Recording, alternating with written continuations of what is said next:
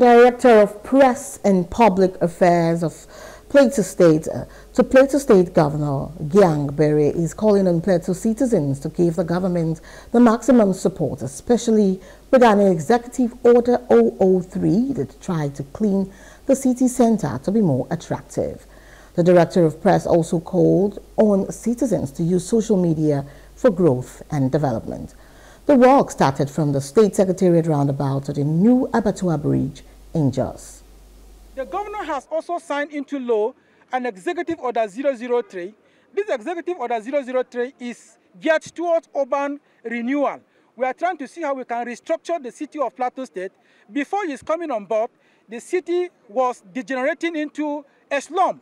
And so we will not allow the city that is called the home of peace and tourism to get that bad. So that is why the governor has signed this, uh, this executive order 003 into law for people to also key in and ensure that development, the city of Jos is, is um, reorganized for development. This law is not targeting at any individual. The law is not targeting at any ethnic group. And the law is not targeting at any religion. The law is geared towards bringing the people of Plateau State to, together for us to create an enabling environment for us to carry out our businesses. The press secretary and other state officials say the social media should be used for positive means.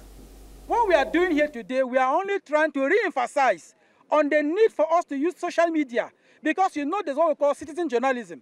People who have Android phones in their homes, they can sit down and post anything they want to post.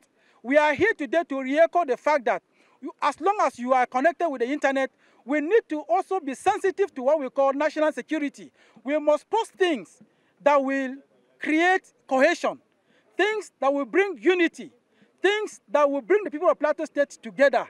And that is one of the cardinal focus of the administration of Governor Caleb Manasseh Mutfwang to unite the people of Plateau State and ensure prosperity in the land. Any message that you need to, to forward online, you ask yourself, is it the truth?